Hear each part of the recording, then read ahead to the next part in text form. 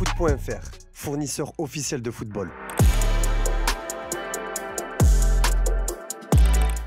Bonjour à toutes et à tous et bienvenue dans ce nouveau JT Foot Mercato. Comme évoqué dans notre revue de presse du jour, au PSG c'est mission dégraissage en cette fin de mercato, avec plus d'une dizaine de joueurs amenés à quitter la capitale. Le nom de Milan Skriniar avait lui aussi été inscrit sur cette liste d'indésirables. Arrivé libre il y a un an après plusieurs années à l'Inter Milan, le Slovaque n'avait pas convaincu Luis Enrique et son staff. La porte s'est ouverte cet été pour un départ du défenseur qui a été handicapé par une grosse blessure la saison dernière. Mais Skriniar ne l'entendait pas forcément de cette oreille. Très rapidement il a fait comprendre aux pensionnaires du Parc des Princes qu'il ne comptait pas s'en aller après seulement une année passée chez eux. Malgré cela, l'écurie parisienne a tenté de le pousser vers la sortie. Mais ça ne s'est pas vraiment bousculé pour récupérer le joueur âgé de 29 ans. Au final, ce n'est pas forcément une mauvaise chose pour le PSG. En effet, l'équipe révèle qu'un départ du Slovaque n'est plus forcément à l'ordre du jour. Mais pourquoi une telle volte-face de la part des dirigeants parisiens? Le quotidien sportif explique que le club estime qu'il n'a pas suffisamment de défenseurs centraux droitiers dans l'effectif actuel. Pour éviter d'être démuni durant la saison, le PSG a décidé de poursuivre l'aventure avec le Slovaque. Véritable deuxième chance pour Skriniar qui devrait répondre aux attentes.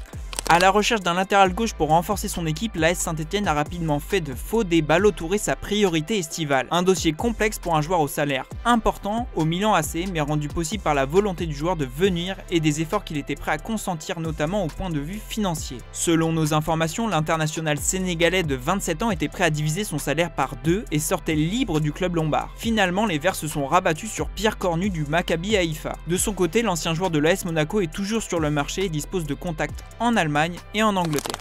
La grande braderie continue à Toulouse. Les Violets vont enregistrer un nouveau départ en défense et c'est au tour de Logan Costa de quitter le sud de la France. Selon nos informations, le joueur de 23 ans va rejoindre Villarreal contre un montant de 18 millions d'euros sans bonus. Un contrat de 5 ans attend le Cap Verdien.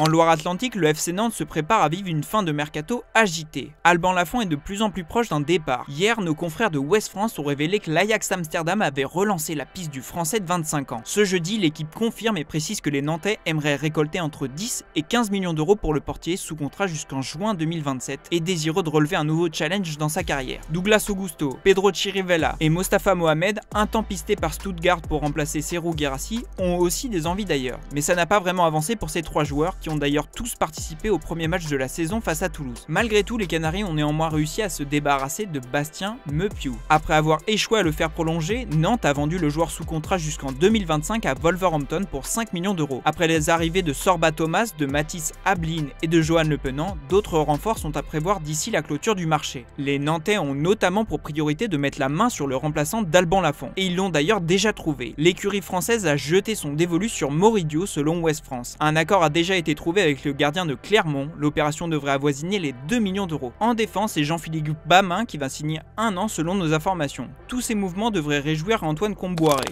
Le Stade Rennais s'est démultiplié sur ce mercato. Le club breton a réussi à récupérer 125 millions d'euros via des ventes. Un trésor de guerre qui lui a permis de réinvestir 60 millions d'euros dans ses nouvelles recrues. Cette dernière semaine pourrait connaître de nouveaux rebondissements puisque certains dossiers ne sont toujours pas fixés. On pense bien sûr à Benjamin Bourigeau, courtisé au Qatar, ou encore Adrien Truffert et Arnaud Calimwando. Dans le sens des arrivées non plus, ce n'est pas terminé. Les Rouges et Noirs cherchent encore un défenseur central et un élément capable de dynamiter l'attaque côté gauche. D'après Ouest France, les Bretons ciblent Yota, le portugais d'Ali L'ailier de 25 ans avait quitté le Celtic Glasgow pour la Saudi Pro League il y a un an, mais il a vite déchanté. Après 5 apparitions en championnat, le Portugais a été retiré de la liste des joueurs étrangers qualifiés en championnat. Il a dû se contenter de la Ligue des champions asiatique et du mondial des clubs avant de retrouver la compétition nationale en mars. Mais le sort s'acharne. Laurent Blanc, nouveau coach de l'équipe de Karim Benzema et de N'Golo Kanté, ne veut pas du joueur sous contrat jusqu'en 2026. Il y a donc un coup à tenter. Cependant, Alitia ne laissera pas partir son joueur comme ça. La question du salaire aura aussi son importance. Les discussions sont néanmoins engagées. Affaibli au milieu de terrain après la blessure de Pierre Lesmelou et le retour de près de Camori Doumbia à Reims, Brest souhaite se renforcer. Le vétéran Étienne Capou intéresse le club qui s'apprête à découvrir la LDC cette saison. Le Français de 36 ans est libre de tout contrat après 3 saisons à Villarreal. Cinq ans après son arrivée sur le rocher, Guillermo Maripane arrive à un virage important de sa carrière. À 30 ans et à un an de la fin de son contrat à Monaco, l'ancien défenseur d'Alaves ne semble plus rentrer dans les plans d'Adi Hutter. Laissé sur le banc face au Barça, le joueur a connu le même sort 5 jours plus tard lors de la victoire de l'ASM face à l'ASSE en ouverture de la saison de Ligue 1. Selon nos informations, le joueur n'a pas fait de son départ une obsession, mais il souhaiterait retrouver un club lui garantissant un salaire équivalent à celui qu'il touche à Monaco en cas de sortie. Aujourd'hui, Rennes et Brest sont intéressés par son profil et ont sondé l'entourage du joueur. Mais si Rennes proposait un joli contrat au joueur, celui-ci était loin de celui que touche actuellement Maripane sur le Rocher. Quant au club brestois, il n'a clairement pas les moyens pour boucler un tel joueur.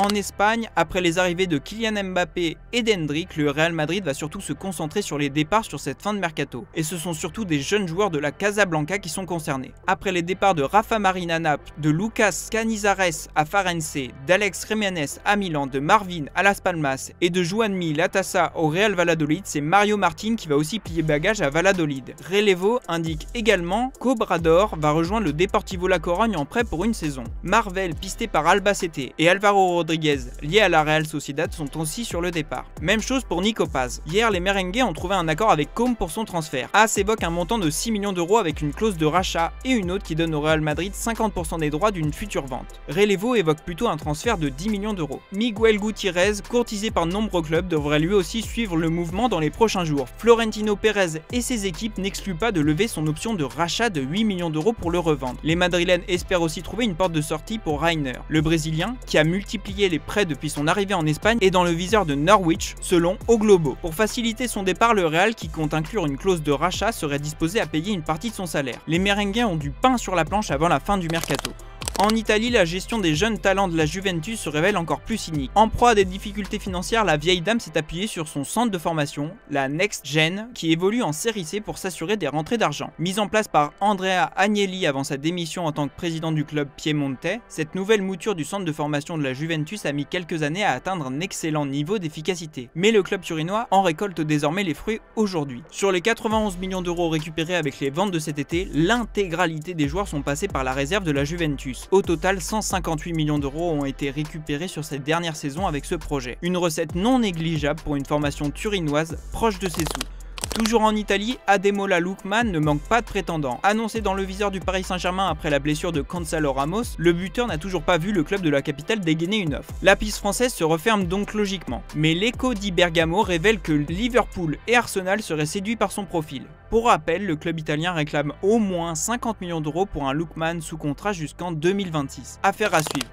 Revenu à City cet été après deux prêts peu convaincants au Bayern Munich et au FC Barcelone, Cancelo a sans surprise été placé dans le loft mancunien. Et selon Abola, Manchester City va enfin réussir à se débarrasser de cet indésirable sous contrat jusqu'en 2027. Le quotidien portugais affirme qu'un accord a été trouvé avec le club saoudien d'Al Les Sky Blues récupéreront environ 40 millions d'euros dans l'affaire. Le défenseur signera lui un contrat de 3 ans assorti d'un salaire de 70 millions d'euros. On passe aux officiels du jour. En début de semaine, nous vous expliquions que le jeune Mohamedou Kanté avait passé sa visite médicale à West Ham et qu'il allait signer un contrat de 5 ans avec le club anglais avant de retourner au Paris FC en prêt pour une seule saison. Ce jeudi, les Hammers ont officialisé la nouvelle. Ce mercredi, nous vous révélions en exclusivité que le RC Lens était tombé d'accord avec Burnley pour le transfert de l'ailier marocain Anas Zarouri. Le joueur était déjà sur place pour passer sa visite médicale avant de s'engager jusqu'en 2028. Et eh bien, ce jeudi, Lens a déjà officialisé l'arrivée du jeune joueur de 23 ans, qui va venir renforcer l'attaque orpheline d'Eliwai. Sous les couleurs de Burnley, Zarouri aura inscrit 10 buts et délivré 9 passes décisives en 49 matchs on se quitte avec l'image du jour. Cristiano Ronaldo a cassé YouTube. En 1 heure et 30 minutes, le Portugais a atteint la barre symbolique du million d'abonnés sur YouTube après la création de sa chaîne. Comme le révèle le quotidien portugais Record, il s'agit tout simplement d'une première dans l'histoire de la plateforme. À l'heure où je vous parle, sa chaîne totalise déjà plus de 19 millions d'abonnés. Ça va aller bien un golden button. Je vous laisse là-dessus, merci d'avoir suivi ce JT et on se dit à demain sur Foot Mercato.